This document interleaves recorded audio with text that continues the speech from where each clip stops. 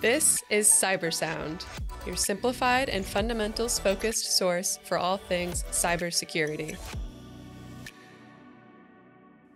Welcome to Cybersound. I'm your host, Jason Pufahl, uh, joined by Michael Grande and Steve Maresca today. Hey there. Uh, and we've got Tony Nicolaidis, uh, Chief Commercial Officer with Origin Wireless. Welcome, Tony. Thanks, guys. Great being here. Appreciate the opportunity. Yeah, thanks for thanks for reaching out. I'm looking forward to chatting about it. So it's we usually talk things that are like purely sort of information in cybersecurity. This probably falls. You, you correct me if I'm wrong. Falls a little bit more maybe into the physical security space. I think we're going to chat around that today. Sure, sure. So, uh, if you could, then give us a give us a little sense of who Origin Wireless is, uh, kind of what your your core business model is. Absolutely. So Origin uh, Wireless has been around since 2012, um, and uh, the technology uh, foundationally uh, was started at the University of Maryland by Dr. Ray Liu, and um, from 2012 to 2019, about really uh, foundationally really getting the technology where it needed to be and discovering what it can do, and then after that um, you know, Spencer Made, our CEO, was on board. I came on board, and now we're starting to commercialize. So uh, we're based in Rockville, Maryland, just north of Washington D.C. And basically, what is what is Origin Wireless? We're a team of fifty, um, and um, uh, basically, the technology is as long as Wi-Fi is in a space, as we know, Wi-Fi is ubiquitous. It's everywhere now. Elon Musk is going to give us, you know, a Starlink Wi-Fi everywhere, right? as long as there is a Wi-Fi signal, what our technology can do is, as bodies move through Wi-Fi, the Wi-Fi signals are disrupted, like a body of water almost, and we can um, quantify and contextualize that disruption to look at things like uh, macro motion, you know, doing jumping jacks, running, uh, all the way down to micro motion, breathing um, you know, so you're uh, able to understand what's going on in a space by just having Wi-Fi in that space and using our technology to understand. All right, so I'm going to kick it off because I do have a I have a couple of questions probably right out of the gate. Uh, my but my first one probably is do you consider this to be supplemental to sort of video cameras and some of the tip, traditional physical security things that people are familiar with? Uh, replacement for like where do you where do you feel this fits best? Yeah, it's a great question. So, uh, residential and small and medium business is one of our four verticals. A very important, huge vertical. Uh, our biggest investor is the largest uh, security company in Europe, number two to ADT. Um, and so it's a that's kind of a loaded question. You look at Ring, right, Jason? Ring has done an outstanding job of per, uh, perimeter security, right? Outside your door, you have uh, uh, cameras around your house. But when you get inside the house, okay, that's where indoor cameras are becoming less and less uh, wanted by customers. Uh, we think two out of 10 and shrinking, uh, hacks and so forth that happen. That's where we fit in. So we are, we complete the puzzle of physical security, Jason. We complete the the the, the puzzle of having perimeter outside with cameras and then us inside to make sure verified human presence with no wearables needed, no cameras needed, so forth. Okay. So more replacement inside, and that's where we can kind of make sure that the like again the puzzle is complete. Right. So are you using cameras inside in any capacity, like targeting, selective monitoring while they're off all of the time unless movement is detected in a hot area or something like that? No, we we use no cameras. It's strictly the Wi-Fi signals that Verizon, Comcast, whoever you sure. have in the house, it's it's just purely the Wi-Fi signal. It's all we need. So uh, one of the questions I had is is relating to sort of the variety. Let's just take small business and residential use cases. Um, you've got such a wide variety of of vendors in that space. You talked about ISPs that will give you a cable box that will also deploy wireless. You've got home networks. Are there any restrictions on the type of infrastructure that Origin needs to run? You know, where does it sit? Does it sit sort of on an application layer somewhere in the wireless controller? Yeah. So depending on the use case, we have a multiple, we have four different general topologies, but ISP is another one of our four verticals, right? Okay. So we sit in the Wi-Fi chip in the router or in the uh, in the security hub we sit as a as a firmware in the Wi-Fi chip. So whoever the Wi-Fi chip is, we sit a firmware on top of that. Uh, if you're not in that particular case, are you deploying sensors physically spread throughout a uh, a space just to be able to listen and observe interference patterns and things of that variety? So let's talk about the ISP use case. Sure. Uh, you have a router. Our technology is on there. I live in north in the northeast here, so I've got FiOS. Verizon was our first customer. Um, and so the router has what they call home awareness is the product, and that router will create, will ping all the connected devices around the house and create these uh, sensing zones. Okay, so that, and those those those um, connected devices do not need our tech on them. It's just a router that creates these sensing zones, and that's the way you under. And once a uh, uh, some somebody uh, enters that sensing zone, we know that there's somebody there. So no other sensors needed, none. Okay. So, so you're really then what we're looking for is, as a consumer potentially is a an, an, origin aware, or I think you just referred to it as as home awareness. Is that what you said? That's Verizon's. That's particularly okay. Verizon's okay. product. That's what they call it. The FiOS um, uh, Verizon pro- Origin product in, in, in their routers. Gotcha. Okay. What are the applications for it? Just you know to give a, a sense of what that looks like. Okay, so let's talk about that. That's great. We'll talk about the four verticals if it's okay. Let's talk sure, about sure. the ISP vertical. The ISP vertical right now, we have launched Verizon. We're launching Deutsche Telekom in Europe, right? We're in the process of, and then Deutsche Telekom, as we know, owns T-Mobile. That'll come in after that. So, what are they doing in general? They are going for uh, um, a um, a product that just like Verizon right now, if you get home awareness, you have this blue orb that you can see that they've done a lot of research on their app. And as the blue orb shrinks or gets nothing, there's not nothing going on in your house. As the blue orb grows, you know there's a lot more activity in your house. So right now it's just a matter of a visualization of the activity in your house. Why do they like that? They can start to talk to their customers about, hey, are your kids supposed to be home or not? Is there supposed to be activity during your in, in, during this time in your house? You can check that uh, with that.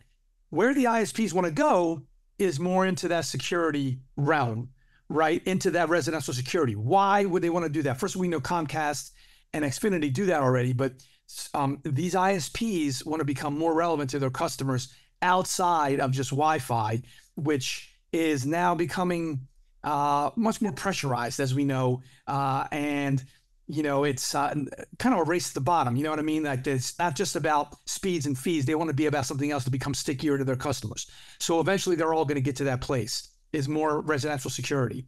Okay. So that's the ISP space. The actual security space, like let's say we're launching right now with Verisure in Europe, we're launching with alarm.com in the US. We are supplementing their system. For example, in what we call the CU, the central unit unit in in, in Verisure, we're there in their Wi-Fi chip. So when a sensor is broken, a door sensor, a window sensor, or even their camera, for example, we were just talking about, notices somebody, we wake up, verify human presence, right, and then shut back down. Um, and so we're we're kind of complementing them. Why in Europe and it's coming to the U.S. There's heavy fines if police are called to your house and it's a false alarm. By the way, in the US, Pittsburgh, Las Vegas, Milwaukee are no longer responding to alarms because of the false alarm rate, right? Because today, when you call ADT and you're we're doing this podcast and your phone rings and it's ADT saying, "Hey, there's uh, we sense a, a break-in in your house. Do you want us to send the police?" You're not home. What do you know whether it's there or not? They have no idea about verified human presence. That's what we supply is elimination of false alarms and verified human presence. Let me stop there with the first two critical ones. We'll talk about the other two in a second, but let me stop there for the use cases that you were asking about for questions. Sure. I mean, I, I see immediate applications beyond what you articulate in terms of just the pulsing blue sphere, right? There are lots of folks who care about home automation and wiring up with thermostats and other elements, you know, lights and things like that. Are there other trajectories beyond that have been considered in that regard? Yes. So let's talk about the third.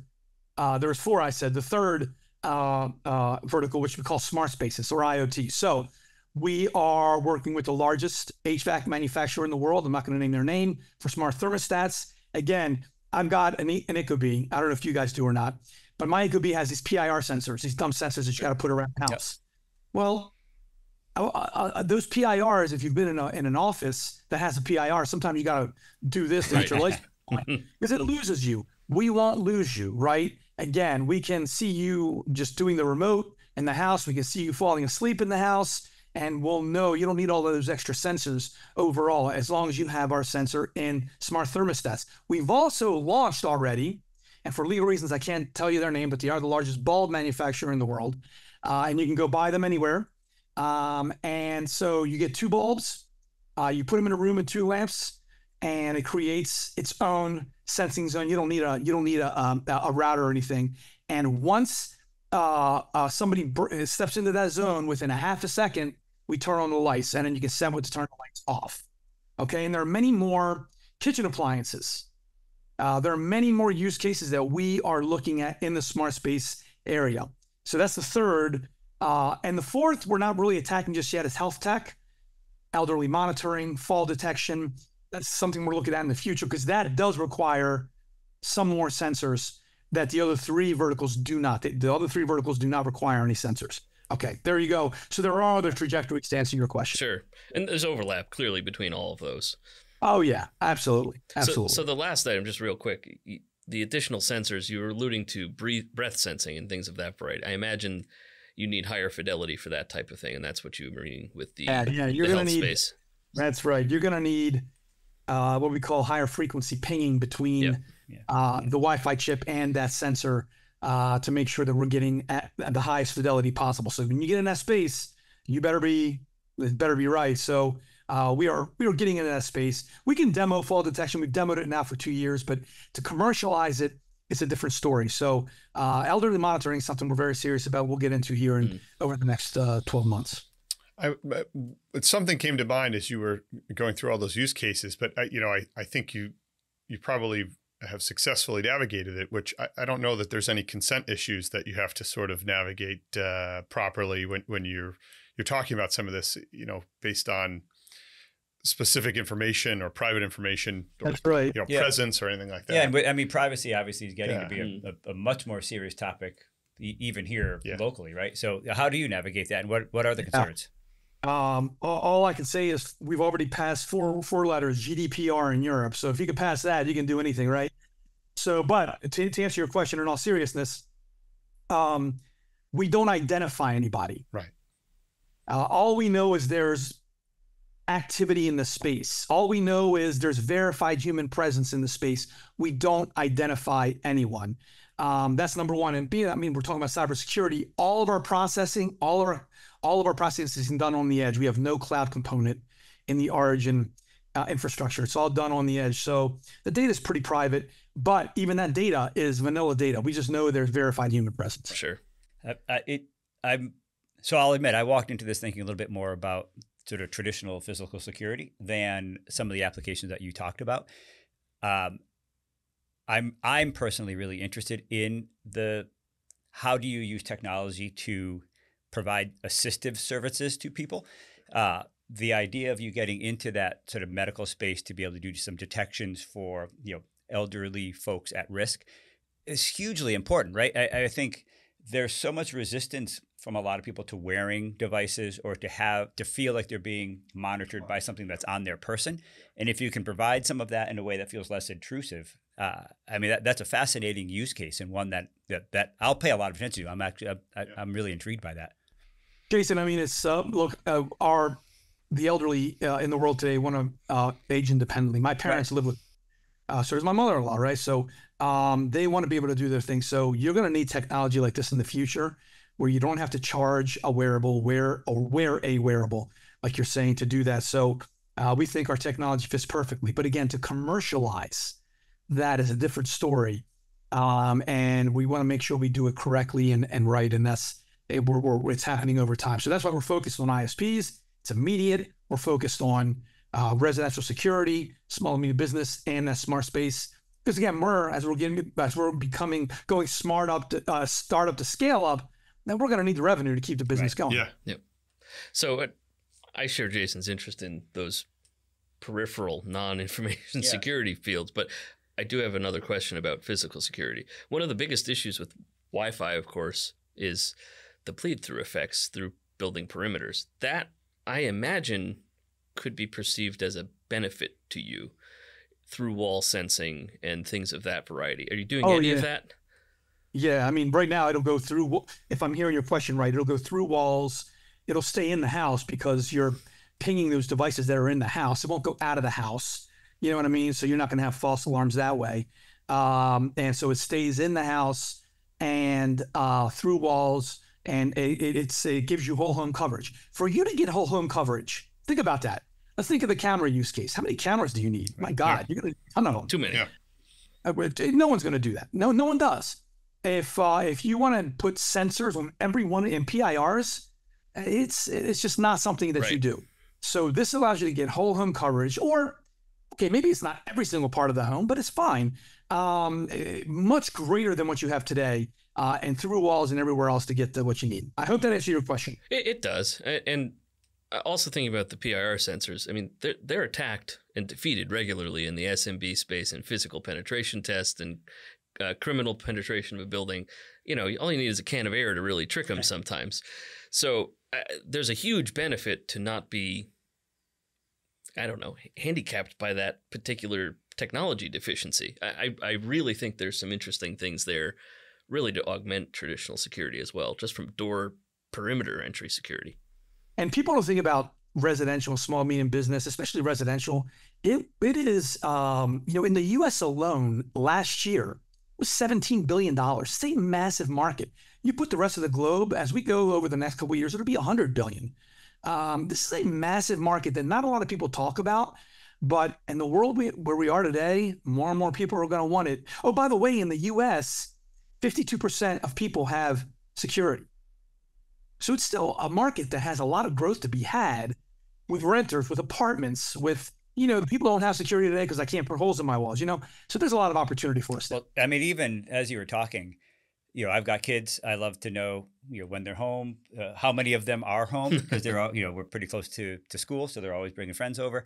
I mean, that's a that's a simple and sort of useful peace of mind use case. I would imagine Airbnbs and VRBOs and all these other, Yeah. you know, called transient places where you just want to know, like, did my guests arrive? You know, how many potentially how many people are there? They said they'd bring four. Does it seem like it's more? like, it, it gives you a lot of awareness. By the way, you know, Airbnb has eliminated indoor cameras, right? You saw that last Yeah, year. yeah. Indoor cameras in there.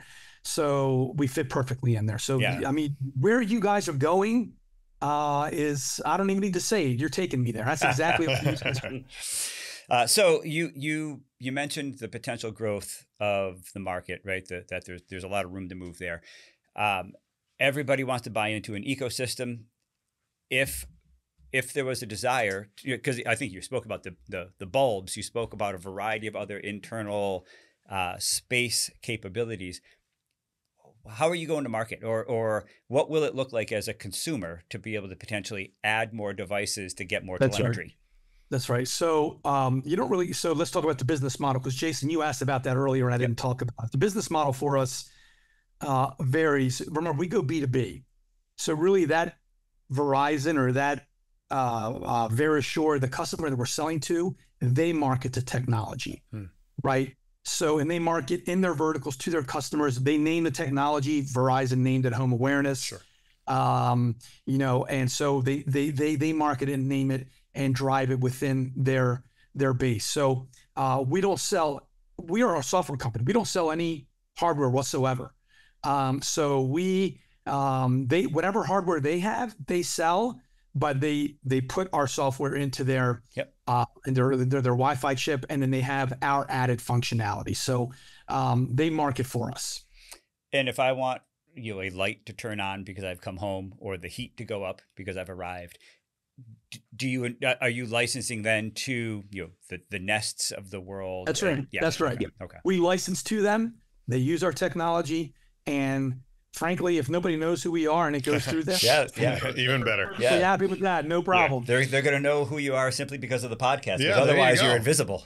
Yeah. I love it. I love it. That's why I'm here. I knew it. Exactly. okay. Uh, I, I mean, I we're kind of up, kind of coming up against time here. Any follow ups that you guys wanted to add, or Nope. no? Uh, any great. Tony? Any parting words for you? Anything that we didn't cover that you really hoped you'd get an opportunity to speak about?